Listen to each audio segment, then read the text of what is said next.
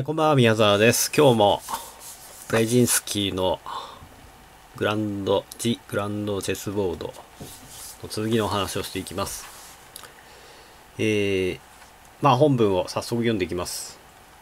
ロシアは NATO 拡大に反対する姿勢をとっているが、1999年の中央数カ国への拡大は黙認するだろう。共産主義体制の崩壊後、ロシアと中央の文化と社会の違いが拡大しているからである。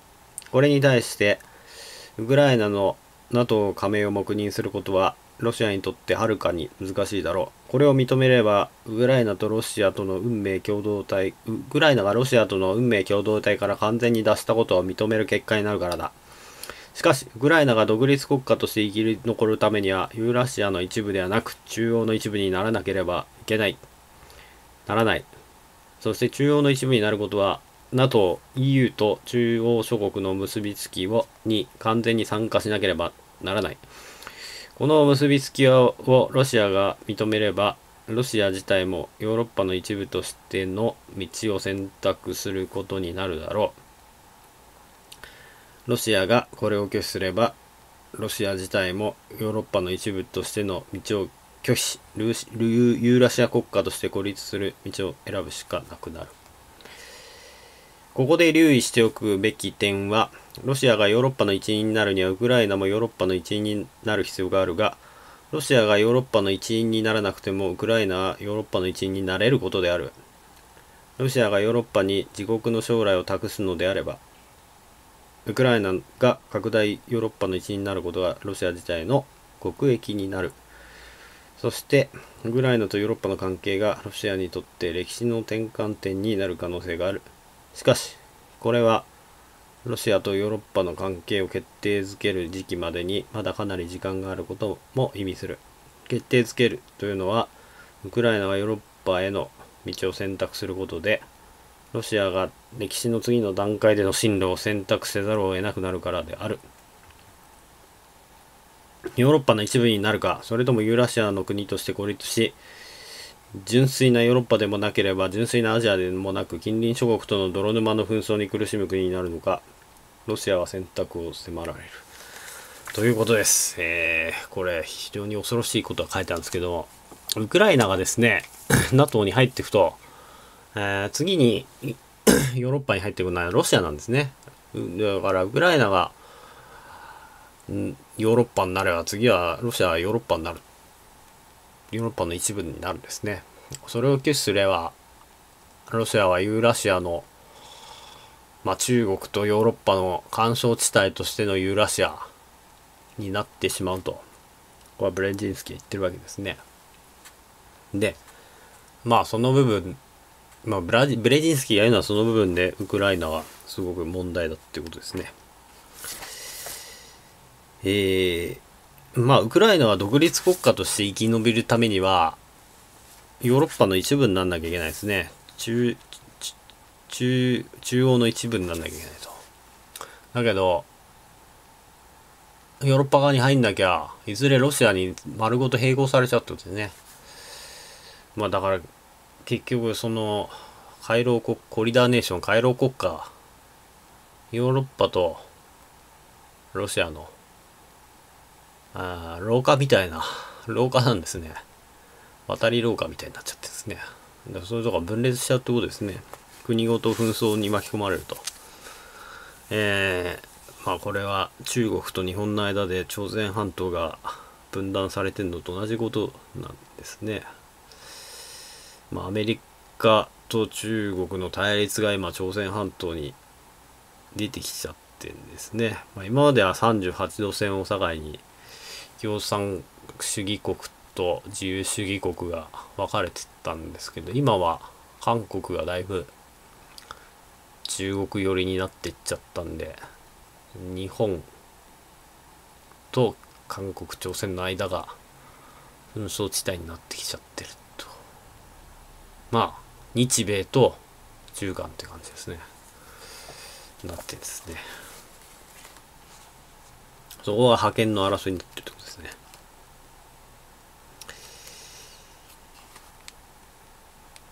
で、クリミア半島の歴史について、池上彰さんと佐藤勝さんが語ってるのがあるんで、これは、新戦争論っていう文春文庫から出てるのなんですけど、そちらもご紹介します。えー、クリミアのロシア人はウクライナ人とは仲がいい。池上彰さん。ウクライナの問題を抑える上でもう一つ重要なのは、クリミア半島の歴史ですね。その通りです。あれほど国際世論の反発を受けながら、プーチンがなぜクリミアを編入したのか、これも歴史を振り返らないと読み解けません。クリミア、クリミアにはもともとジンギスカンの子孫が作ったクリミア半国がありました。ここには、ここは水がなく、ディアスポラ、かっこ離散定住、かっこ土地のギリシャ人が住んでいた。そこに入ってきたジンギスカンの子孫たちが何をやったかといえば、ウクライナ人が移住するウクライナに行って穀物や家畜を略奪してくる。女性まで拉致してペルシャやアラブに売り払う。それでみんなで逃げてキエフにもペンペン草が生えるようになりました。しかしもともと国土地帯で肥沃な場所ですから、犯罪者、逃亡農民などがたくさんやってきて税金も払わずに勝手に住み着き武装して農村を作った。これがコサックです。このコサックがポーランドのカトリックとクリミア藩のイスラム教徒とクリミア半国のイスラム教徒と戦って領域を徐々に大きくしていきます。そして1654年ベレヤスラフ協定を結んでロシアの庇護下に入る。それからロシアの力を利用してクリミアを占領するわけです。池上彰さん。そうそう、19世紀に至ってクリミア半島をオスマン帝国が支配すると、ロシア帝国はロシア正教徒の保護を口実に軍事介入します。2014年2月、ウクライナで新ロシア政権が倒されると、ロシアのプーチン大統領がロシア人の安全を、守るためと称して、クリミア半島にロシア軍を派遣しましたが、これと同じ構図ですね。クリミア戦争、括弧1853年から1856年、括弧閉じでは、オスマン帝国と同盟したイギリス、フランスとロシアとの間で大規模な戦闘が行われました。白衣の天使フローレンス・ナイチンゲールの活躍が有名です。1917年のロシア革命後、クリミアはボリシェビキ、後のソ連赤軍、閉じによって占領され、その後はソ連内の自治共和国になりました。佐藤勝さん。第二次大戦中にナチス・ドイツがクリミアに入ってくると、クリミアの先住民族タタール人、すなわちジンギスカンの末裔たちの一部にナチスに一部がナチスに協力します。これにスターリンは激怒し、1944年にクリミアを赤軍が解放すると、タタール人を強制移住させ、その後に、その後にロシア人に住まわせました。この時なぜウクライナ人でないかといえば、当時はクリミアはロシア領だったからです。池上彰さん。ペレヤスラフ協定300周年の1954年に、ソ連のフルシチョフ共産党第一書記がクリミア半島をウクライナに移管しました。ウクライナのご機嫌を取るためです。そのフルシチョフもまさかその後、ウクライナが独立することがあるなどとは考えていなかったのでしょう。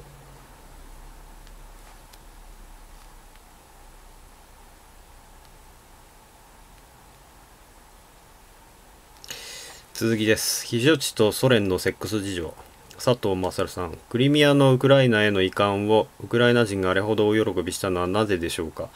実はその背景には当時のソ連のセックス事情があります。表向きソ連は健全娯楽しかありませんでした。風俗産業などはなく、喫茶店も全て潰しました。あればそこに人が集まって防御をするからです。ロシア革命はレーニンもトロツキーもスターリンもみんな喫茶店で陰謀を企てたことが出発点だったからです。その代わり夏休みには6月から9月の間に2ヶ月間夫婦でも別々の場所で撮る。ここで思い切り自由恋愛をしてガス抜きをするのですが、そのための保養施設がオリンピック開催地となったソチやクリミアにありました。それを移管すると、ウクライナの党や労働組合が使えるようになるわけです。これはかなりの優遇政策なのです。その後、1956年のソ連共産党第20回大会のフルシチョフ秘密報告で、スターリンの民族政策が批判され、翌57年にかつてチェチェン人やカルムイキア人を強制移住させたのは間違いだった一民族全体が対独協力するなどというのはありえないと認められたのですがその民族のリストの中にタタールクリミア・タタール人は含まれませんでした。というのもクリミア・タタール人を含めることはウクライナ人優遇政策に反してしまうからです。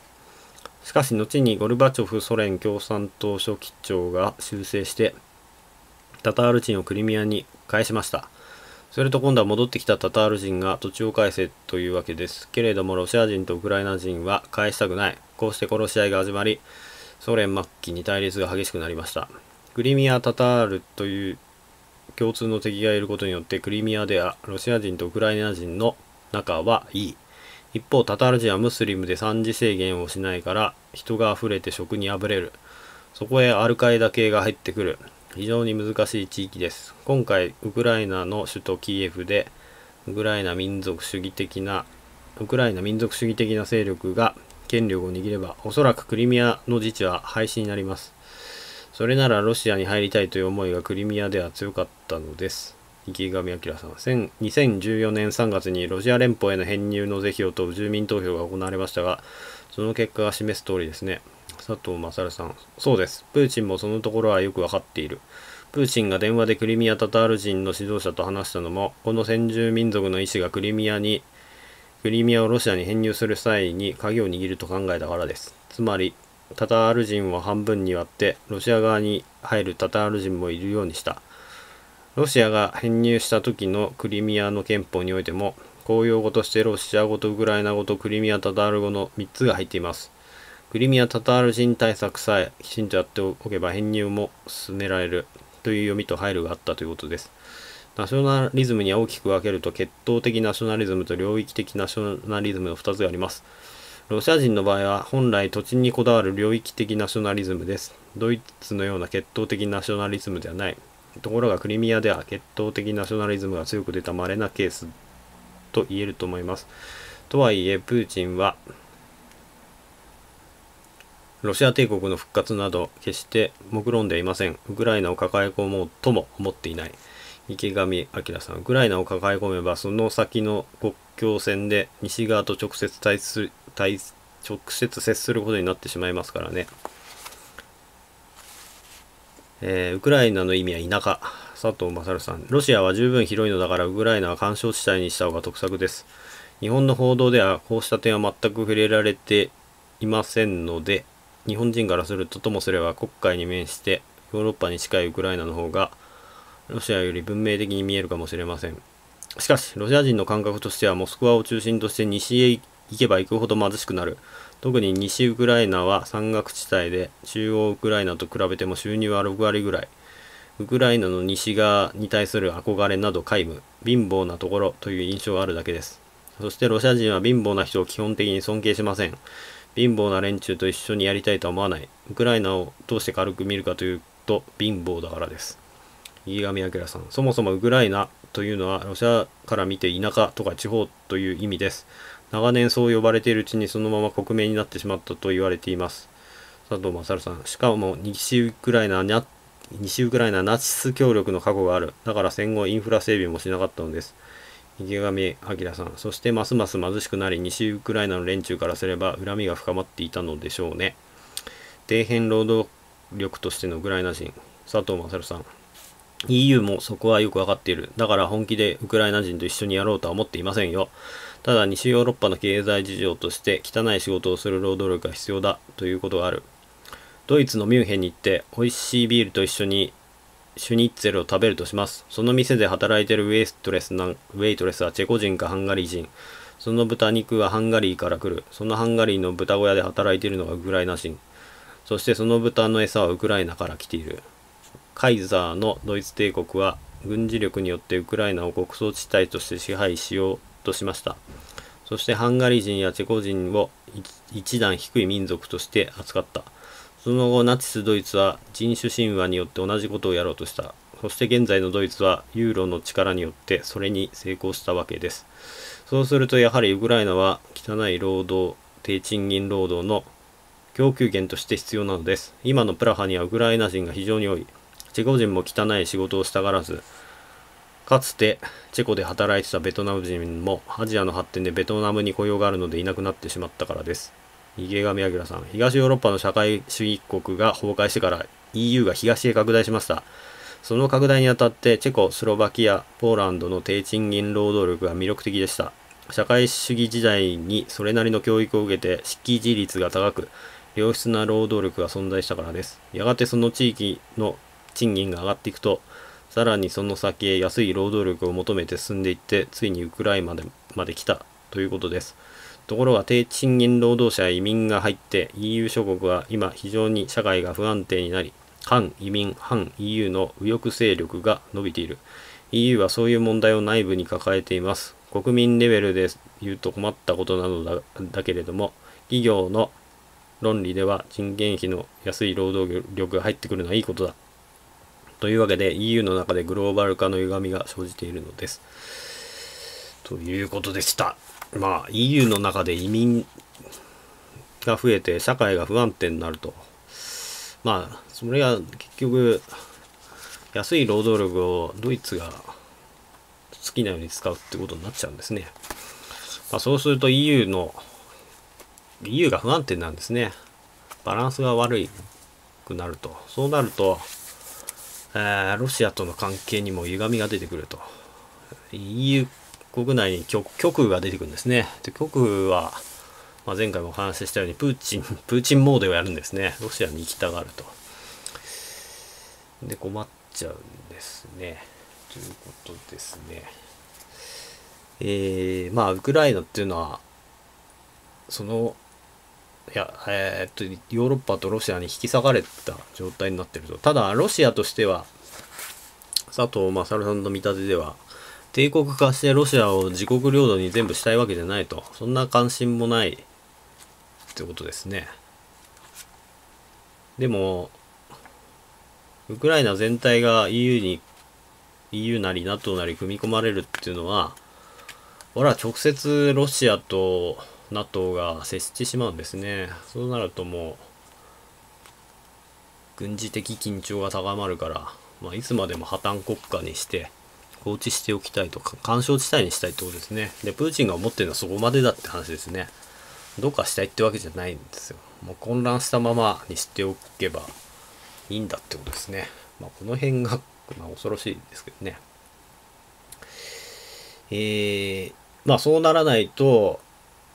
ユーラシアの国としてロシアが孤立すると、直接ウクライナと対立すると、孤立すると、孤立するっていうか、まあヨーロッ、本当はブレジンスキーの考えではウクライナまでが NATO、EU になってですね、さらにロシアもそのまま NATO、EU に入っていきゃいいんだって考え方なんですけど、まあ、プーチン、これはプーチンの出てくる前の話なんで、プーチンはもうそんな気さらさらないと。まあ、プーチンはプーチンなりの、もう、一人勢力均衡をやろうとしてるわけですね。本当はビスマルクみたいになりたいんじゃないですかね。特に帝国化していくつもりはないんですけども、かといってアメリカと共同で世界管理をする力もないと。ただ、あ まあ、中ぐらいの国、ロシアとして、えー、お手玉 6, 6つ、ヨーロッパと中国とアメリカと中東の4つぐらいをでお手玉して、えー、戦力、勢力均衡を築きたいってことなんでしょうね。そう見るとプーチンっていうのは、一生懸命勢力均衡やってんのかもしれないですね。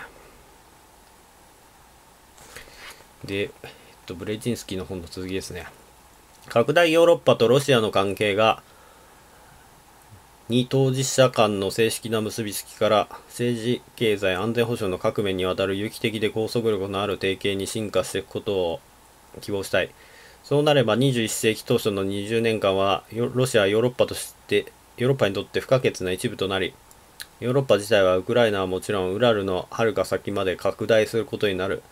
ヨーロッパと欧米の国際枠組みにロシアが協力するようになりいくつかには加盟するようになればヨーロッパとの結びつきを切望しているカフカス三国グルジアアルメニアアゼルバイジャンも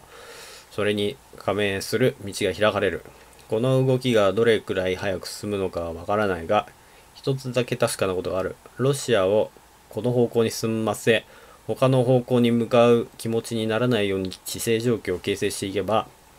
ペースが早まるのだそしてロシアがヨーロッパへの道を早く進むほどユーラシアのブラックホールは近代的になり民主的になっていく社会によって干渉されていく解消されていくロシアにとって唯一の選択肢のジレンマは実のところ地政上どのような方針を選択するかの問題ではなく生き残りにとって不可欠な課題に取り組むかどうかなのである。ということです。で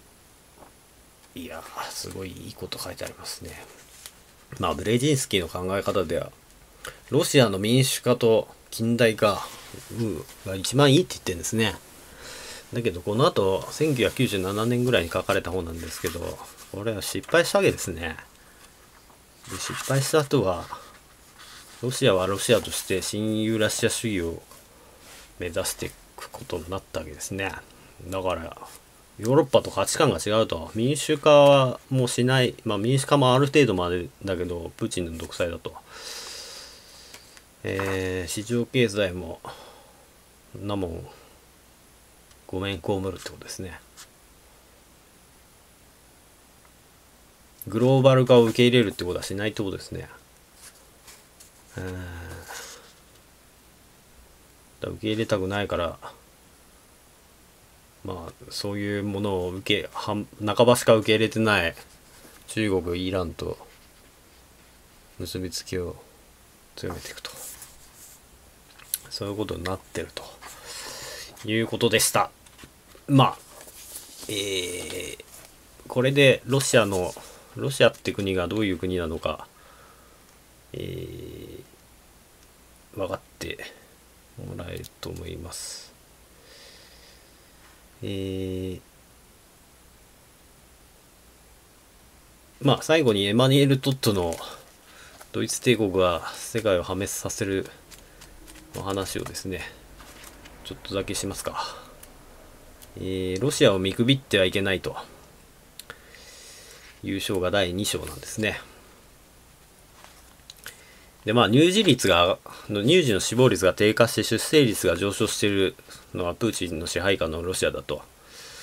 で、明らかに2009年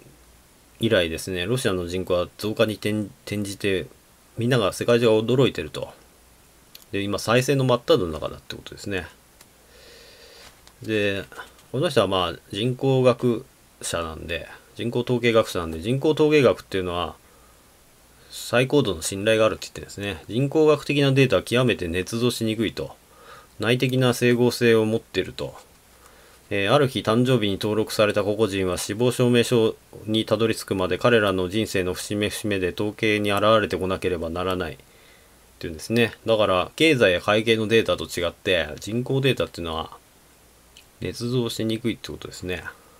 で、そういうこと言ってんですね。えー、で、ウクライナっていうのはですね、出生率がずっと低いんですね。ここ25年間、出生率が低いと。女性1人当たり1.5人。まあ、ドイツ、中央ヨーロッパ、地中海沿岸のヨーロッパよりはまだマシだけれども、ウクライナの一番の問題は教育を受けた青年層がみんな国外に出てしまうと。で、人口がですね、独立以来、5200万人、まあ、90年代半ば5200万人いたのに、今4500万人、700万人も減ってんですね。すごい勢いで、ウクライナ社会が解体してってると。それは出生率が低いのと高学歴青年層が流出してってると。で、それによってですね、えー、極右が入ってきたってことですね。そのガリツィア地方っていう、首都はリビウ。まあ、あの、西の地方ですね。ウクライナの西の地方に、えー、まあ、ナチなななんかネオナチみたいなのがいるってことですねでこの人たちがえー、非常に危険だと目に見えているとまあこれ山岳地帯らしいんですけどね。西野は先ほども書いてたんですけど。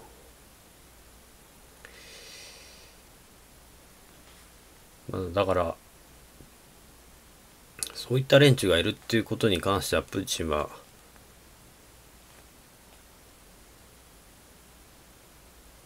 まあ神経を尖らせてると。いうことですね。そういうことが書いてありますね。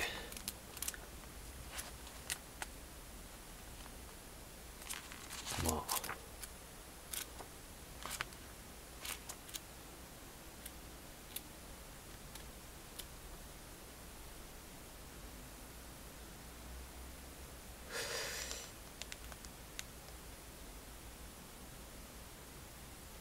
ロシア、まあ、ロシア脅威論っていうのは、誰が唱えてるかっていうと、えー、西側なんですね。で、イデオロギーの側面から見ると、ロシアの脅威論はまずスケープゴート探しのように、もっと言えば、西側で最小限の一体感を保つために必要な敵のでっち上げのように見える。EU はもともとソ連に対抗して生まれたソ連というライバルなしでは済まないのだ。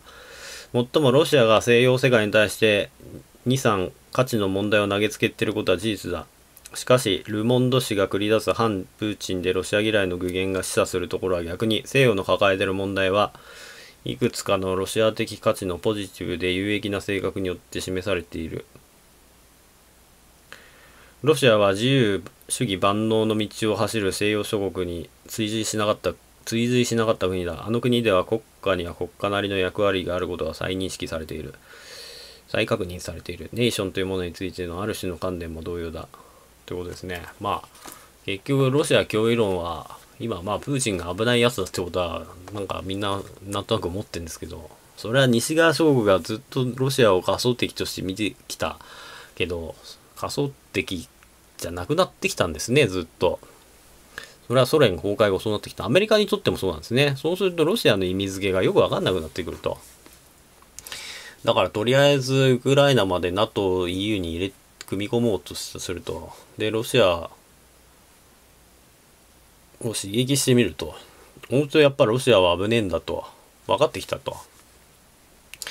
マレーシア国技をミサイルで撃ち落とすぞってことを言ってるわけですね。どっちが撃ち落としたか分かんないですけど。で、そのおかげで、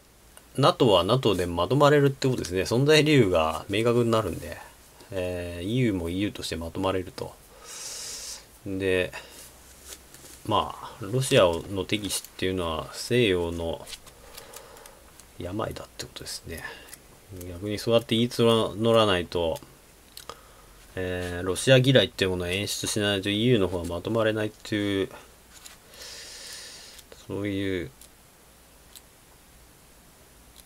ヨーロッパになっているってことですね。ということでした。まあ、これとりあえず、ブレジンスキーの話は、今回で終わりですけども。えー、これ実はブレンチンスキーのですね、第6章東アジアの怒りっていうんですね。中国と日本の関係も喋ってんですね。ここもすごい面白いのと、ドイツのことも単独で語ってんですね。えーまあ、そっちもまたお話はしたいかなと思いますけどもまあとりあえず今回で区切りがいいんで終わりです、えー、最後まで聞いてくれてありがとうございました。以上です。